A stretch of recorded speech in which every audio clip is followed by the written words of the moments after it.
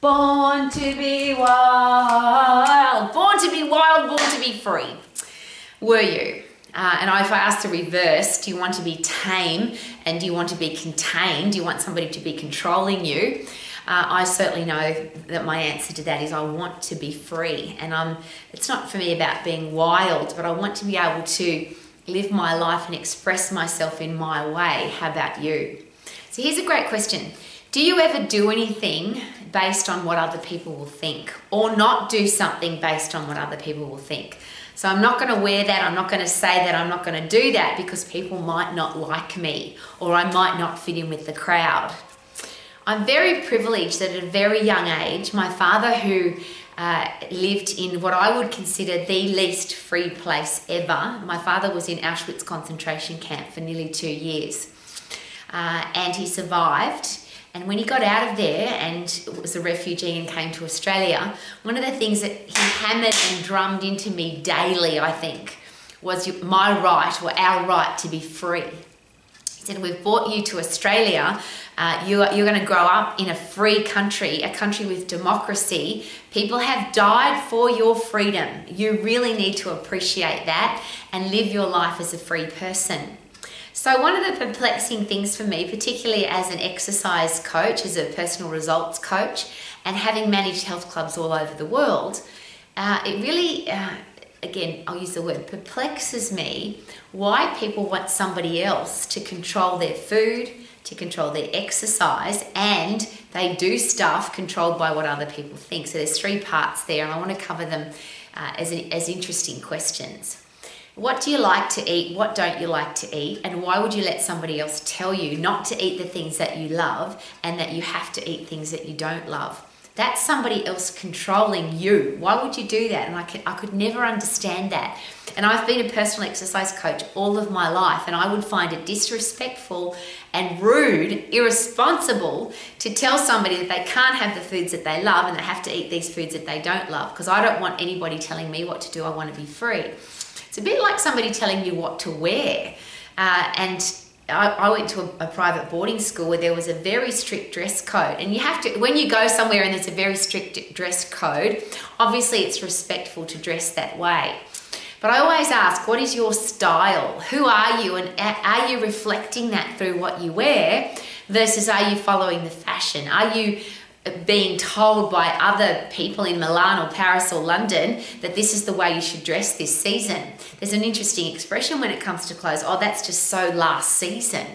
Well, how about it looks good on me, it fits me, it makes me feel good? Isn't that what you should wear, not what everybody else is wearing? Are you wearing that the clothes that reflect who you are, not fitting in with the crowd or being part of the fashion? And I love that quote. Uh, fashion is designed to go out of style, but style never goes out of fashion. And I've always aimed to live my life like that. And it seems that eating, for example, diets have a lot of fashion attached to them. Oh, I'm doing this particular diet. And I, I could name them. In my lifetime of 40 plus years as a personal exercise coach, there's been hundreds, if not thousands, of different kinds of diets. And some people wear them like a label. It's like, I'm on this diet or I'm on that diet. And I ask, well, who is that person? That's based on a person's opinion. How about how does your body work, anatomy, physiology? What do you like to eat? What don't like? What don't you like to eat? Do you eat when you're hungry? Do you stop eating when you're full? Why do you eat? There's a whole heap of reasons attached there that don't have anything to do with somebody else telling you what to eat. And exercise is the same. If you want to be fit and strong, the beautiful thing is that your heart, lungs, muscles, bones, immune system, central nervous system, all blind, all can't count. So it doesn't matter how you get puffed, and it doesn't matter how you what you do to overload your muscles and bones. If you get puffed, you'll get fit, and if you overload your muscles and bones, you'll get strong. So anything past that, somebody telling you you should run or you should lift dumbbells or kettlebells or you should do uh, this particular class. What if you don't like it? What if it doesn't suit your free mind? Freedom. People have died for our freedom, and yet there's so many people now who say, Please tell me what to eat and please tell me how to exercise. And they rely on the fashionistas to say, Tell me what to wear. We've now got this phenomenon called a social media influencer. They're called an influencer for a reason because they influence the way people eat, the way they exercise, and the way they dress and what they buy. Why would you want to be influenced by somebody else? Don't you want to think for yourself and be free? That's how I've lived my life, so that's why I'm asking so passionately. I find it really sad when people eat foods that they don't like and exercise in a way that doesn't suit them and wear clothes that don't suit them just because that's what everybody else is doing. And then there's that really interesting one. Are we doing it because that's what everybody else is doing and we want to be accepted? Why would you want to be like everybody else? There's this beautiful word, uh, it makes me feel, it melts my heart. It's the word unique. Unique simply means, in my definition, and you might have your own, is nobody else is doing it. And that makes you stand out from the crowd, it makes you memorable, it makes you different from everybody else. Why would you want to be the same as everybody else just to be accepted by the same? And if you're a leader, if you're a coach, if you're a pastor, if you're a boss, if you're a parent, if you're a teacher, don't we want to teach our kids to think for themselves, not follow the crowd? Don't we want to teach our kids to question everything, not believe everything? Don't we want our kids to love their food and love their exercise and, and, and wear clothes that express who they are, not try and impress other people? And it seems that a lot of those things are based on impressing other people or fitting in with the crowd. Uh, it's it, it, this social media ph- phenomenon now means that if everybody's doing it, then maybe I should be doing it too. And that's one of those really bizarre quotes, and I'm, I, I'm very glad I heard it very early on in my life. 50 million people doing a dumb thing doesn't mean it's not a dumb thing. Just because that social media influencer has 50 million followers doesn't mean that what they're doing is the right thing. It just means there's a lot of people doing the dumb thing. Now, it might not be dumb, but as I always ask, wouldn't it be nice to be able to figure it out for yourself rather than that person's got 50 million followers, so they must be right? How about let's listen to what they're saying? What do they believe in? What are their core values? What do they stand for? What would they die for? A lot of social media influencers, everything is about how much money you pay me to influence people to buy this product. Not what do I stand for, what do I believe in, and what would I die for.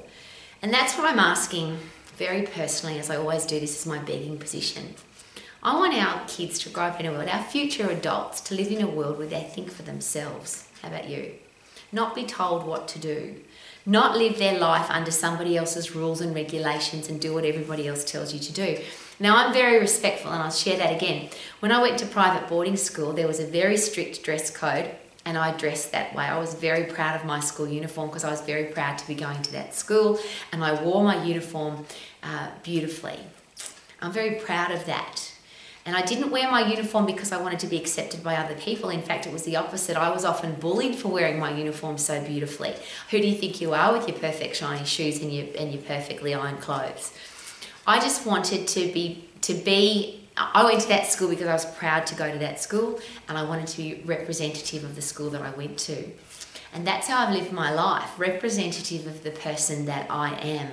So that's why I don't get affected by diets by crazy exercise programs, by the fashion, and I certainly don't care what other people think. So they're my four questions for today. ROWMAX, which is all about healthy, fit, and strong, have a career or business that you love, be financially free, and have great people in your life. If that's how you want to live your life, then please this question. Are you eating the foods that you love and not eating the foods that you don't love? And why would you live any other way? Are you exercising in a way that suits you, not the way somebody else tells you to exercise? All you've got to do is get puff lift heavy and you'll be fit and strong. Do you have a career or business that you love? Do you love it? Not because that's what somebody told you you should do, not because that's what your high school marks told you you should, you should have. Do you have a career or business that you are passionate about and you wake up every day loving what you do? And if not, why not? And if you care what other people think, is it possible that they care about what you think? And they might be living their life to suit you and that's isn't that ridiculous? Wouldn't we want everybody to live their life in a way that they are that they can respect themselves be proud of themselves and be really happy? Not worried about oh should i wear this because what will people think? Or should i say this because what will people think? And we live in a world where i am going to share this again because again I, I was brought up with this every day People died for our right to free speech. People died for our right to live freely. And yet we seem so interested in being contained in a box, being told what to do, being controlled.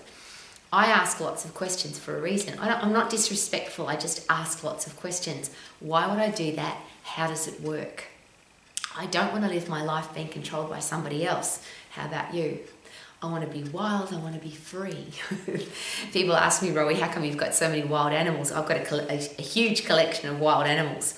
And that's to remind me every day that being free is far more important than being safe. It's very easy to, to cover yourself over, not do anything risky, and live your life in a safe space. But what a way to live. I don't want to live my life like that. And I always share this story. Uh, it's one it's one that it really affected my life. It was one of the first uh, Formula One Grand Prix in Australia. And unfortunately, there was a flag marshal at that uh, Formula One race that died at the race. A tyre came off one of the Formula One cars and hit him, and he died. And obviously it was covered by the press because one of the first Formula One races in Australia. And the, at the funeral, the gentleman's wife was interviewed. And yes, she was sad that she lost her husband, but there was a almost a, a, glow about her. And she said it so beautifully. And I remember I wasn't that old and I looked at that and went, that's how I want to live my life. She said, my husband died doing what he loved. And wouldn't it be better to die doing what you love at a young age than live 150 years being miserable, trying to fit in with the crowd, trying to suit everybody else, doing what other people want you to do? You live a long time, but what a way to live. I don't want to live like that. Uh, there's a lot of people that have died early, and when I look at what they what they've done in their life, they might have died in a plane crash, or they died doing their sport, or they died uh, doing something risky. And I always look at that and say, far better to die like that than die in a retirement village with tubes in your nose and can't remember who you are and being treated like a baby. I, that to me, that's a horrible way to end your life. I would like to live passionately, excitedly, enthusiastically, and then die peacefully in my sleep. So I want to live wild and free and then die peacefully in my sleep. Barring accident, accident's one of those cool things that happen if you are putting yourself out there. Uh, I'll rephrase that though. You could die in a house fire. You could die. The people die with vending machines falling on them. Like life is risky. So if life is already risky, why not get out there and enjoy it every single day? Eat what you love. Don't eat what you don't like. Exercise the way you want to want to exercise, so you can be fit and strong and enjoy your life. Uh, wear the clothes that you want to wear, and don't worry about what other people think. Why does it matter what other people think? What's important is that you love who you are and you respect who you are. And when you look in your mirror at the end of your day, you can say, Super duper doo, how are you? I've had an amazing day today because I love my life. Born to be wild.